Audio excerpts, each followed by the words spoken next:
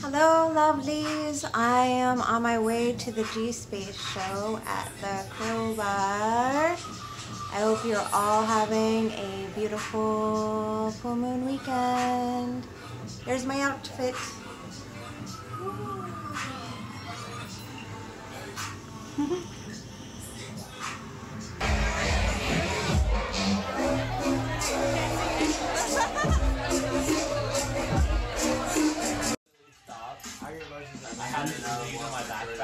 Quick pan across the room.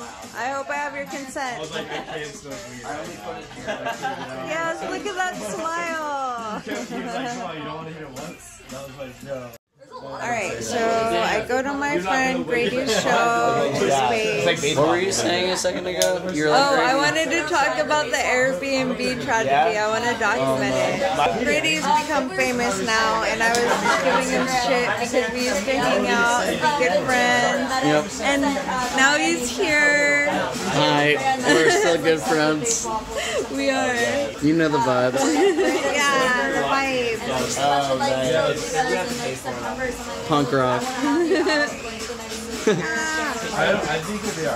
It's a free show, so like. So he's like, yeah, come to my Airbnb, and somebody locked the lock, the, East the lock that you're supposed to Oh, lock. Is no. so yeah, But she and saved the then day. now they ended up all here. Yay!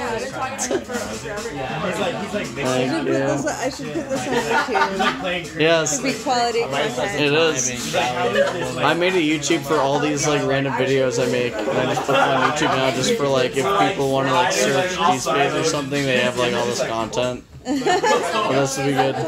Yes. My thing And is then- that I do like There's like he brought his crew. What's your name? Carlos, hi, world. Like an interview.